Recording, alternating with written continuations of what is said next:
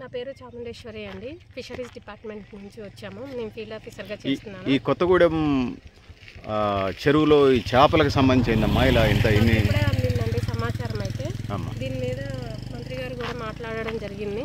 ఇది గృహ వ్యర్థాల నుంచి ఎలా వస్తుంది ఏంటి అని చెప్పారని మేము ఎక్కడెక్కడ నుంచి సోర్సెస్ అనేది ఒకసారి చూసుకొని చెప్తామని చెప్పడం జరిగింది మంత్రి గారికి కూడా. ఇది వచ్చేసి చేప ఉబ్బు ఉబ్బు వ్యాధి అని చెప్పని అంటారు అంటే దీనివల్ల బ్యాక్టీరియల్ ఇన్ఫెక్షన్ అండి ఇది ఎక్కువ శాతం. లివర్ కిడ్నీస్కి లేకపోతే లోపల ఉన్న ఎఫ్లియెంట్స్ అనేవి బా బాడీ ఫ్లూయిడ్స్ అనేవి బాగా ఇది అవ్వడం వల్ల మనకి జబ్బు అనేది చేపలకు వస్తుంది. అంటే ఎక్కడ వ్యర్థాల నుంచి ఇవి గృహ వ్యర్థాల నుంచా లేకపోతే బయట నుంచి వచ్చినటువంటి వరద నీరు నుంచి వచ్చినదా? చనిపోవడానికి కారణం. ఎక్కువ శాతం వచ్చేసి గృహ వ్యర్థాల నుంచి పక్కన ఉన్నటువంటి ఏదైనా పరిశ్రమలు ఉంటే ఇట్లాంటిది జరు- జరిగే అవకాశం ఉంటుందండి.